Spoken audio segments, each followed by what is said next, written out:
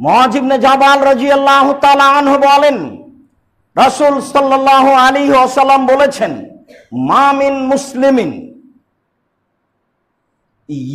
তো আলা দিকরিন তাহেরান যে কোনো পুরুষ নারী যখন অজু অবস্থায় রাতে ঘুমায়, আল্লাহকে ডেকে। এই হাদিসটি বিগত জুমায় এক পর্যায়ে বলছিলাম, যখন মানুষ অজু করে ঘুমার দোয়া পড়ে রাতে ঘুমায়।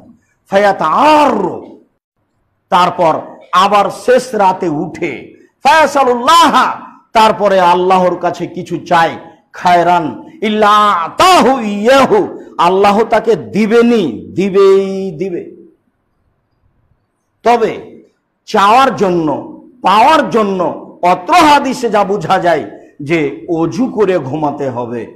দোয়া পড়ে ঘুমাতে হবে। অজু অবস্থায় দোয়া পড়ে ঘুমালে শেষ রাতে উঠে আপনি যা চাইবেন তা পাবেন অত্র বিবরণে, বোঝা যায়।